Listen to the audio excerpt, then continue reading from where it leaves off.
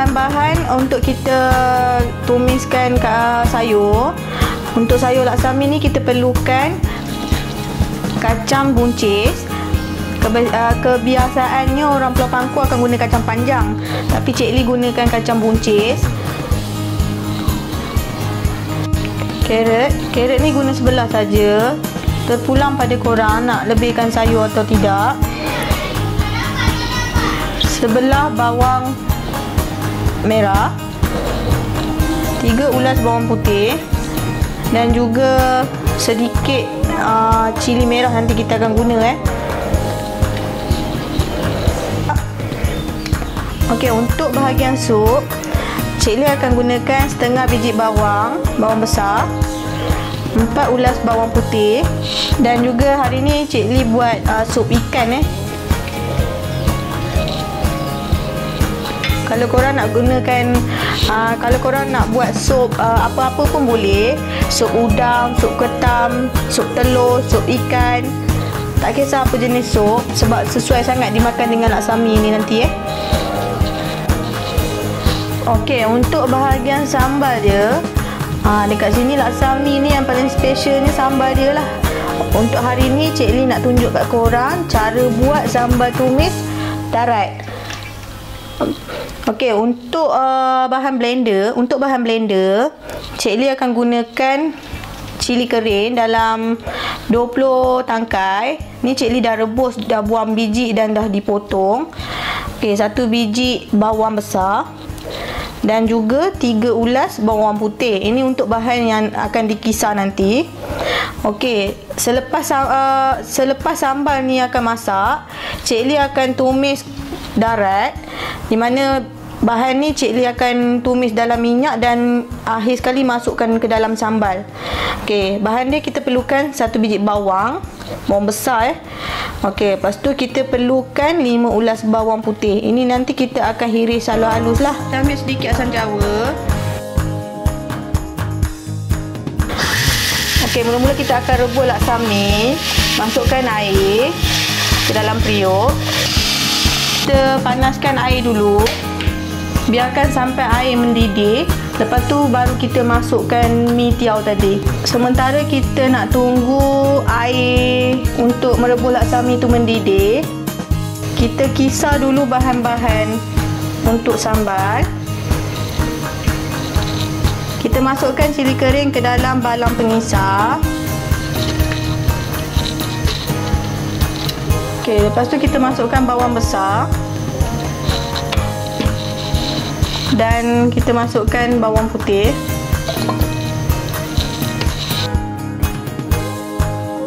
Masukkan sedikit belacan bakar. Belacan ni bila dibakar lebih sedap baunya. Tambahkan sedikit air.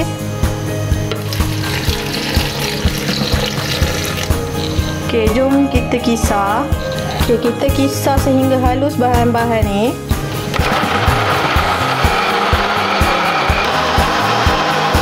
Okey, ini bahan-bahan cili yang telah dikisar. Okey, air pun dah mula mendidih. Jadi kita basuhkan dulu mi tiaw ni dan kita masukkan ke dalam air mendidih. Masak sehingga mi tiaw ni betul-betul lembut dan masak. Okey, ni tiaw yang kita akan buat laksa mi pangko ni. Okey, kita masukkan ke dalam air yang dah mendidih. mi ni kering tau nanti bila dia dah masak dia akan jadi mi yang lembut lah ok kita biarkan sampai mi ni betul-betul lembut dan masak ya ok sementara kita tunggu mi kita masak kita tumis dulu cili uh, cili ni kita masak kosong dahulu dan kemudian uh, akhir sekali baru kita masukkan tumis darat ya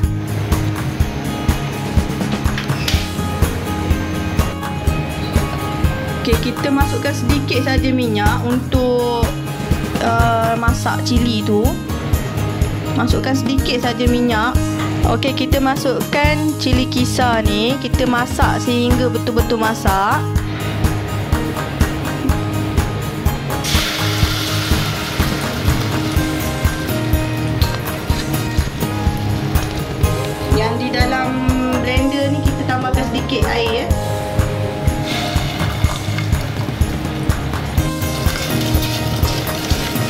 Cili ni kita biarkan sehingga betul-betul masak.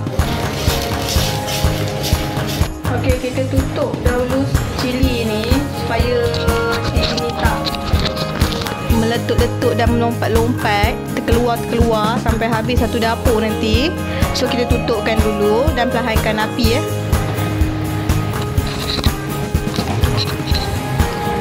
Okey, kita check mi kita sama ada dah masak ke belum.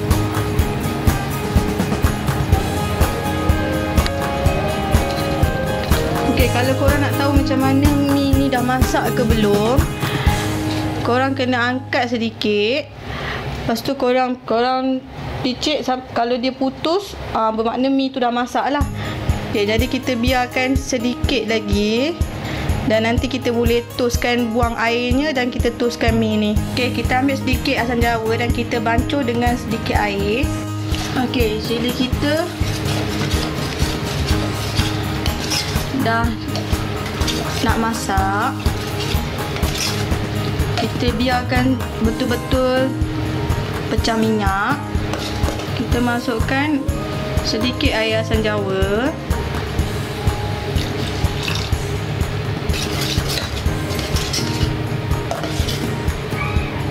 Okay, kita biarkan semula sehingga betul-betul pecah minyak dan masak. Tips untuk korang tak sakit perut bila makan sambal cili korang kena masak cili ni lama dan perlahankan api.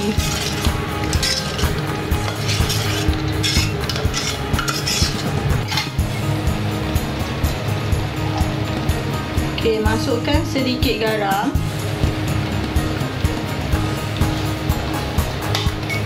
Masukkan sedikit serbuk ajinomoto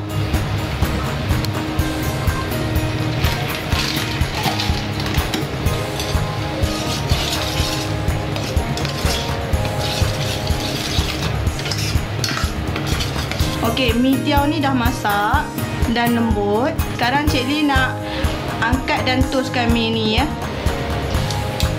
Okey, sekarang Cik Lee nak toskan mi tiaw ni.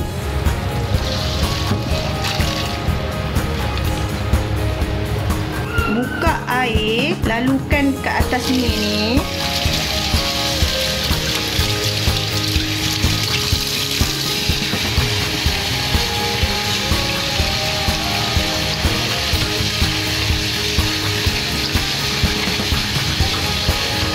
Kita kita lalukan air sehingga mi ni sedikit sejuk. Okey, mi tiaw dah siap. Sekarang Cik Lee nak hiris halus-halus bawang besar dan juga bawang putih. Belah dua.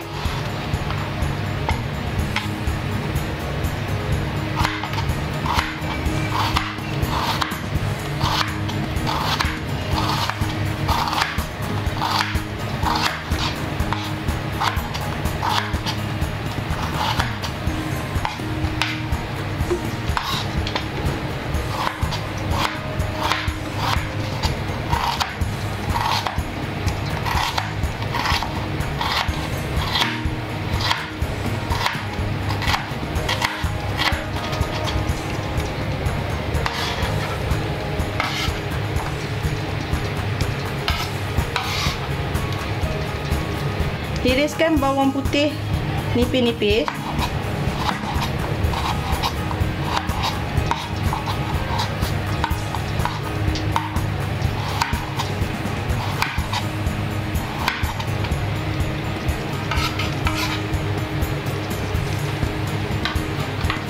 Panaskan kuali.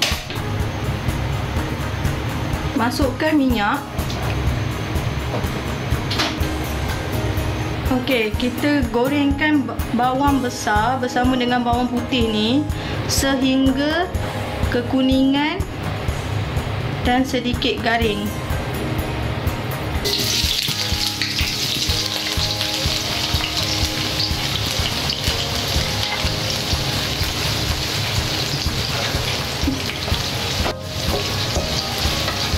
Okey, ini cili kisar yang telah masak. Okey, kita goreng bawang merah dan bawang putih tadi sehingga kekuningan dan sedikit garing.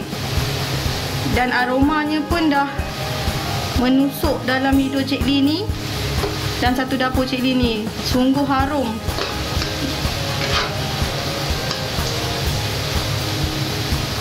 Ini dinamakan tumis darat di mana sambal dimasak asing dan kita akan goreng bahan-bahan ni dan masukkan ke dalam sambal. Okey, jom kita masukkan bahan-bahan ni ke dalam sambal.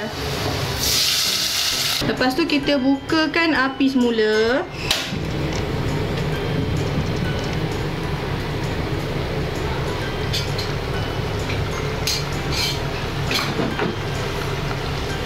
Kita masukkan sedikit cuka, tak kisah jenama apa.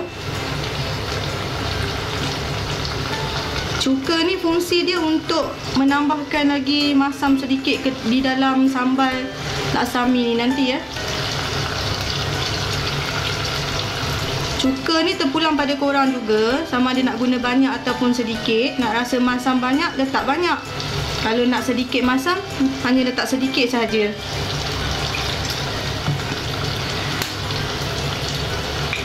Okey, sambal laksami Cik Lee dah siap. Ini yang dinamakan tumis darat ya. Sambal ni sangat famous di Pulau Pangkor. Kalau buat laksami, inilah sambal yang original. Tapi kalau korang nak gunakan, uh, kalau korang tak berminat sambal macam ni, takut pedas ke apa, korang boleh juga buat sambal tumis. Sambal tumis udang ke, sambal tumis sotong ke. Uh, terpulang pada korang. Resepi ni adalah resepi di mana Cik Nurli belajar daripada mak. Mak memang asalnya orang Pulau Pangkor dan Cik Lee dah makan laksami ni sejak daripada kecil sampailah dewasa. Dah beranak pinak pun. Sambal tumis darat Cik Lee dah siap. Ini bahagian sup untuk laksami. Okey, hari ni Cik Lee buat laksami. Kita hari ni Cik Lee buat sup ikan. Sup ikan ni salah satu sup yang original jugalah untuk laksami di Pulau Bangkok. Tapi terpulang pada korang nak guna sup udang, sup, uh, sup ketam ataupun sup telur. Okay, hari ni Cik Lee buat sup ikan ya. Ini Cik Lee guna ikan ikan belaling dalam anggaran 3 ekor. Cik Lee potongkan macam ni. Okay, sekarang kita hiriskan bawang besar dan juga bawang putih.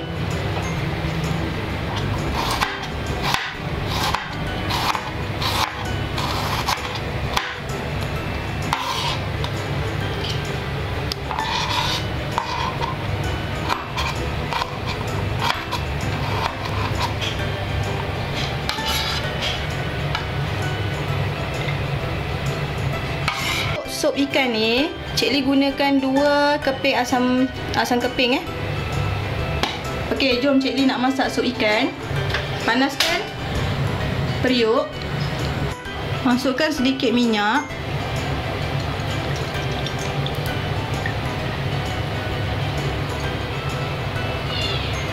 Okey, masukkan bawang besar dan bawang putih yang telah diiris halus.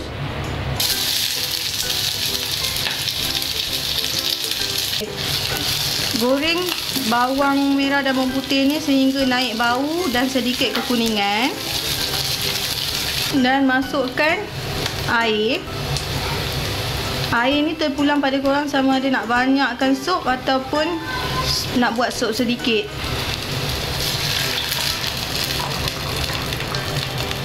Cik Lee masukkan dua cawan air.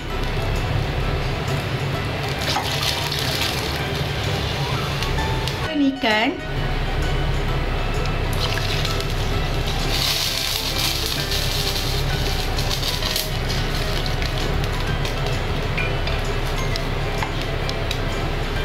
Biarkan sehingga mendidih eh. Uh, sup cili dah mengelegak Masukkan sedikit serbuk perasa Dan juga sedikit garam eh.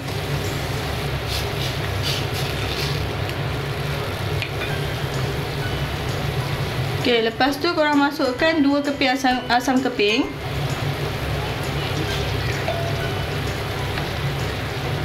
Korang beli beli ikan, ketam atau udang yang fresh. Sebab bila buat sup laksami ni uh, di pangko kita gunakan hasil laut yang fresh lah kan.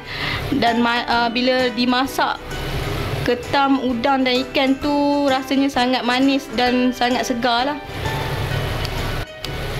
ok sup ikan cik ni hampir siap dan korang perlu rasa dulu masin, masam dah cukup rasa semua barulah korang taburkan last kali last kali korang taburkan sedikit daun sup Okey. Pak sup ikan Cik Lee dah siap. Sekarang kita pergi ke part goreng sayur. Okey, Ni Cik Lee nak potong sayur untuk digoreng dan makan bersama laksami nanti ya. Okey, ni Cik Lee gunakan kacang buncis.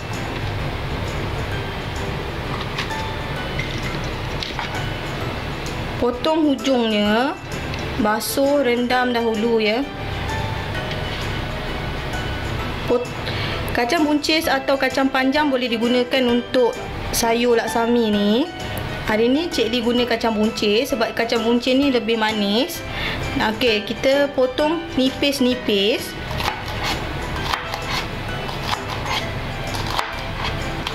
Okey, di Pulau Pangkor Kami menggunakan bahasa utara juga ya Seperti orang Pening dan juga orang Kedah. Tapi Pulau Pangkor ni dalam kawasan Perak. Ha, tapi dia orang dialek bahasa dia orang bercakap menggunakan bahasa utara. Pada korang yang belum pergi ke Pulau Pangkor tu, bawa lah keluarga korang pergi berjalan di Pulau Pangkor. Tempat-tempatnya sangat menarik dan indah. Tenang je bila kita pergi kat tepi laut tu.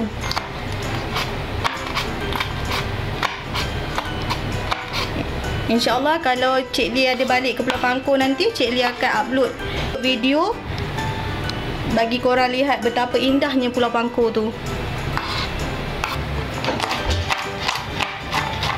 Lepas tu korang potongkan lobak merah ataupun carrot.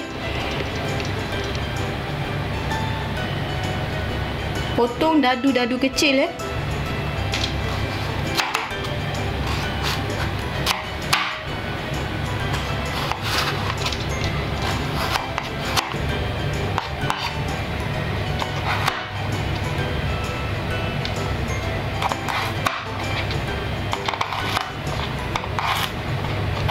Selain kacang buncis, kacang panjang ataupun lobak merah, korang boleh tambahkan juga lobak asin eh. Kat sini uh, Cik Lee tak ada lobak asin jadi Cik Lee tak masukkan lah. Uh, kalau korang ada lobak asin atau lobak manis, korang boleh potong halus-halus dan campurkan sekali ke dalam sayur.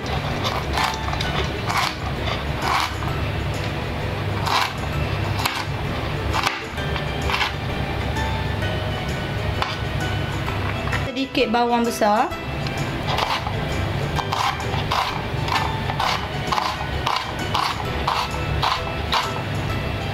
Tiga ulas bawang putih.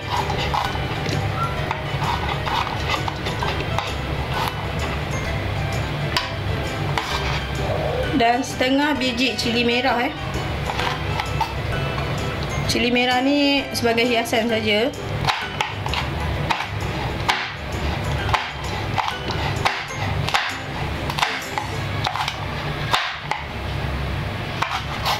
Guna kuali yang Cik Lee goreng bawang merah dan bawang putih untuk sambal tadi.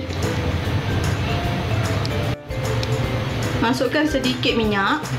Okey, untuk rencah sayur laksami, Cik Lee gunakan fish cake dan juga sedikit udang yang telah dibuang kepala dan telah dibelah belakang. Okey, ini bahan-bahan yang telah dipotong untuk digoreng. Sayur goreng laksami. Okey, kita ada bawang sedikit bawang merah yang telah dihiris, bawang putih yang telah dihiris, sedikit cili merah, kacang buncis ataupun kacang panjang boleh digunakan juga. Di, dihiris nipis-nipis. Okey, lobak merah ataupun carrot dipotong dadu kecil dan juga sedikit fish cake dan juga sedikit udang. Jom kita mula goreng sayur eh. Mula-mula kita masukkan bawang merah. Bawang putih.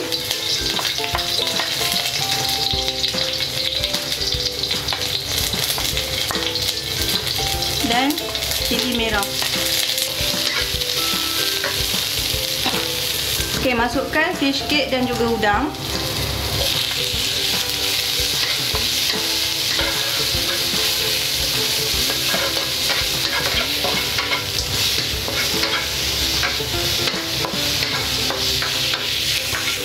Biarkan udang masak dahulu. Masukkan kacang buncis dan juga carrot yang telah dipotong masukkan sedikit serbuk cukup rasa. Dan juga sedikit perasa. Dan juga sedikit air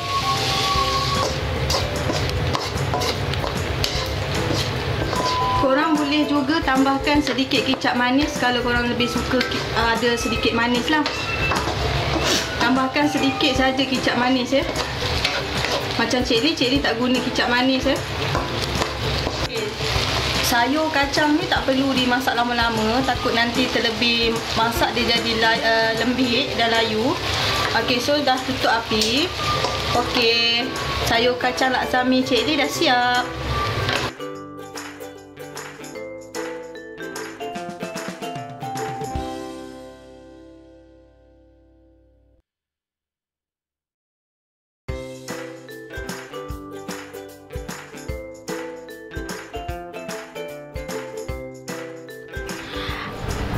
Okey korang. Laksami Pulau Pangko resepi dari Mak Cik Lee dah siap. Mula-mula kita ambilkan dulu laksami ni.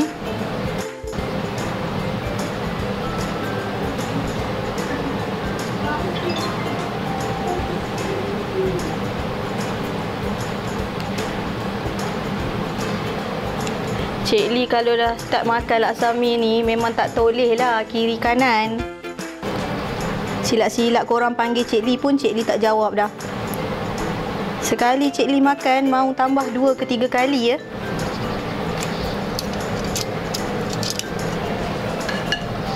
Okey, lepas tu kita taburkan sayur kacang kita. Macam tadi Cik Lee cakap, sayur kacang ni korang boleh tambahkan juga lobak asin atau lobak manis. Macam Cik Lee tak ada, Cik Lee tak taruh lah.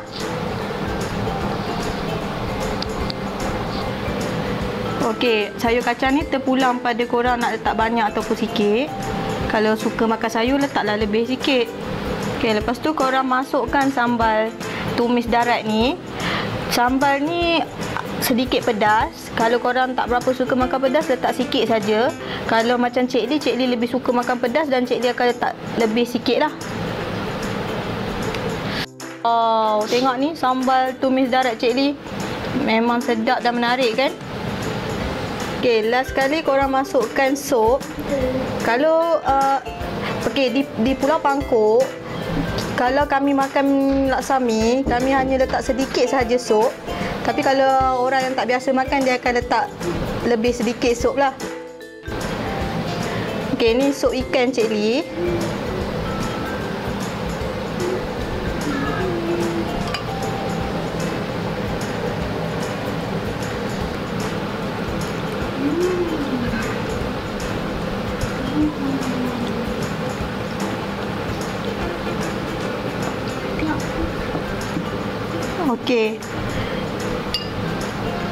Hasil laksami yang telah dicampur dengan bahan-bahan yang kita telah masak semua tadi. Okey, laksami Pulau Pangko. Cara Mak Cik Lee. Original dari Pulau Pangko ya. Okey, ni kalau Cik Lee, Cik Lee makan dengan tangan saja ya. Sebab lebih sedap kalau kita makan dengan tangan. Tapi kalau korang tak biasa makanlah dengan sudu dan garpu. Laksami ni adalah makanan wajib dalam keluarga Cik Lee setiap tahun bila raya ataupun raya haji memang wajib mak Cik Lee akan masak laksami ni. Korang wajib cuba ya resepi ni sangat sedap. Kalau korang dah cuba sekali, korang mesti akan berkali-kali nak cuba lagi. Okey, selamat mencuba dan selamat menjamu selera ya semua.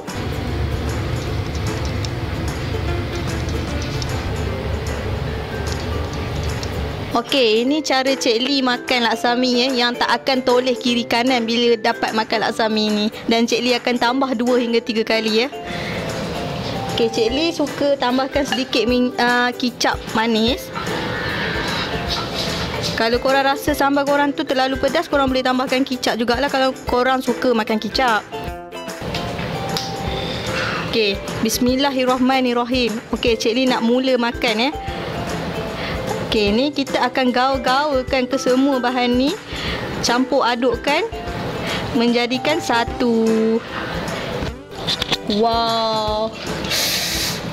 Kecoh eh Leo tengok ah. Tak sempat apa-apa rasa macam tak sabar nak makan.